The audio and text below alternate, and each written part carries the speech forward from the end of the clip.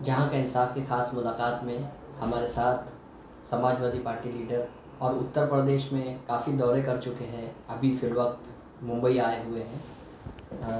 ऐसी शख्सियत जो मोहताज तारुफ नहीं, इन्होंने उत्तर प्रदेश से इलेक्शन भी लड़ा और समाजवादी में काफ़ी दिनों से सरगर्म अमल है।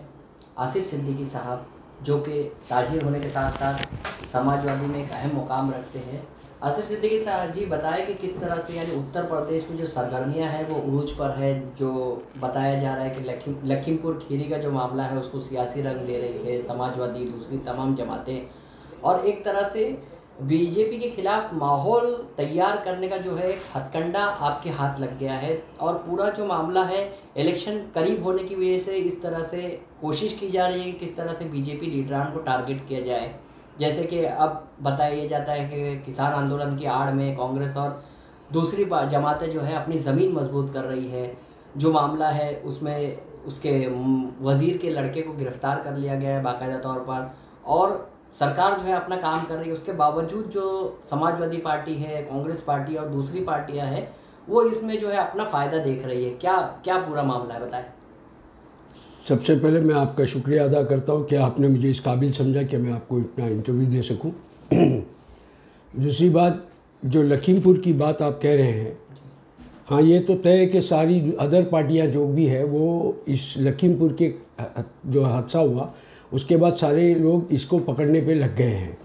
और रही बात श्री अखिलेश यादव जी की वो शुरू से जब से किसान आंदोलन चालू हुआ है तब से उनके सपोर्ट में है। तो आप ये नहीं कह सकते कि अखिलेश यादव ने इसको इस मुकाम को पकड़ लिया है। इस लखीमपुर के कांड के हादसे के बाद उन्होंने उसको पकड़ लिया। नहीं वो शुरू से इनके किसानों के साथ है। यूपी में देखा जाता है कि अक्सर जो है मुसलमान कशमकश के आलम में होते हैं कि वो किस तरफ़ जाए। क्योंकि अब तो जो है मामला एम आई एम का है और दूसरी जमातें भी जो है मुतहद होकर एक इतिहाद कायम कर रही है। तो ऐसे में समाजवादी पार्टी का क्या चांस है कि यूपी में उसकी सरकार बनेगी?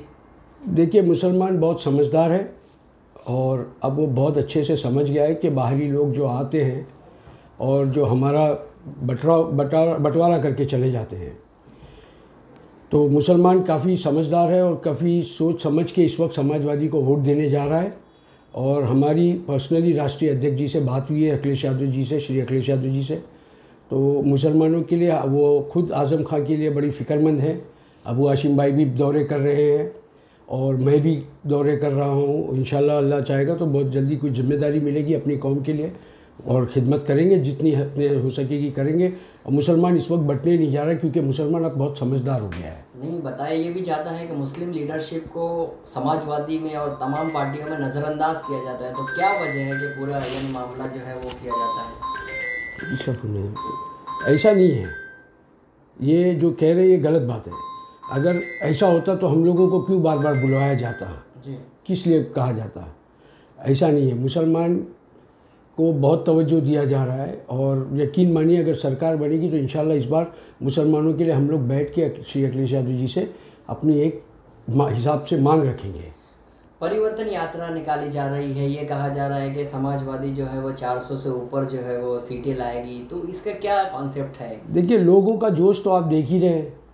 आज किसी गाँव में अगर सौ परसेंट इंसान है तो नब्बे परसेंट समाजवादी के साथ है। ये आप कैसे कह सकते ये तो लोग बत कह रहे हैं सर। लोग बता रहे हैं जो जो यात्रा निकल रही है उसमें दिख रहा है जनाधार क्या आ रहा है हमारे साथ। ऐसा तो बीजेपी भी कह रही है नहीं बीजेपी का आप देख लीजिए ना सर बुलाया जाता है। हम तो ग्राउंड वर्क देख रहे हैं। वो भाड़े पे बस करके गाड़ियाँ करके लोगों को बुलाते हैं अपनी जनसभा में। वो बुलाए जाते हैं और हमारे यहाँ किसी को बुलाना नहीं पड़ता। लोग खुद से आते हैं अपनी मोहब्बत प्यार से आते हैं। नहीं उत्तर प्रदेश में जो हालात है जैसे कि मुजफ्फरनगर हो गया था मुस्लिम फसादात जो है वो ज़्यादा हो जाते हैं। मुस्लिम कुछ फसादात में मुसलमानों को नुकसान होता है। और कोई भी पार्टी ऐसे नहीं होती जो मुसलमानों के साथ दे। ऐसे जिस जिस तरह से इलेक्शन लड़ते हैं समाजवादी वाले तो यादव पर लड़ते हैं। दलित पार्टी अगर लड़ती है तो वो मायावती जो है वो दलितों पर लड़ती है। और जो है वो ठाकुर और ब्राह्मणों के इस पर जो है वो इलेक्शन लड़ा नहीं, जाता है। ये- तो ये- मुसलमान का कॉन्सेप्ट इसमें आता ही नहीं नहीं है। नहीं नहीं नहीं। समाजवादी जो है यादव और मुसलमान के नाम पे लड़ती है। नहीं ऐसा तो हमने कभी देखा नहीं, आपने देखा नहीं मगर ज़मीनी हकीकत तो यही है। आज़म खान की ये हालत क्यों हो गई? आज़म खान की हालत होगी इसके लिए हम लोग बहुत प्रयास कर रहे हैं और बहुत उम्मीद कर रहे हैं कि बहुत जल्द से जल्द वो अपनी वापस से अपने मुकाम पे आ जाएँगे। नहीं तो यूपी में कहीं ना कहीं जो है आज बीजेपी की सरकार का तो आप देख ही रहे हैं। जी। बीजेपी की सरकार में लखीमपुर में इतना खुलेआम कांड हो रहा है। तो आज़म खान जैसे को बीजेपी की सरकार की वजह से ही दबे हुए हम नहीं तो नहीं कहीं ना कहीं ऐसा देखने में आ रहा है कि बीजेपी की सरकार ही नहीं समाजवादी भी आज़म खान को भुला चुकी है। नहीं ऐसा नहीं है। आपको ये किसी ने बताया होगा गलत खबर है। अखिलेश यादव जी बराबर उनका ख्याल रखते हैं बराबर उनके टच में रहते हैं उनके घर वालों के टच में रहते हैं। और बहुत जल्द ही यकीन मानिए मेरी तो उनकी जो लॉयर जो उनसे उनके जो लॉयर रहे जो इस वक्त देख रहे हैं उन्होंने तो मुझे ये कहा है कि बहुत बहुत ऊपर वाला चाहेगा तो दो तीन हफ़्ते के अंदर वो इंशाल्लाह घर में आ जाएँगे फिर हफ़्ते दस दिन में अब तो चुनाव भी डिक्लेयर हो गया मई में होने जा रहा है।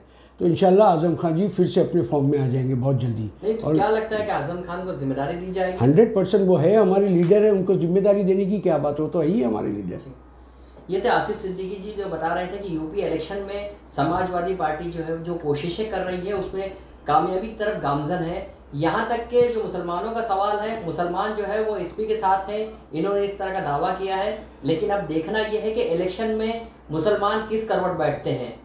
आसिफ सिद्दीकी ने बताया कि जिस तरह से आज़म खान का सवाल है, आज़म खान जो है समाजवादी पार्टी के सीनियर लीडर है और वो पार्टी के साथ है, इसलिए मुसलमान लीडरशिप को नज़रअंदाज करने का कोई सवाल ही पैदा नहीं होता। फरहान सिद्दीक के साथ मोहम्मद जावेद शेख, जहाँ का इंसाफ।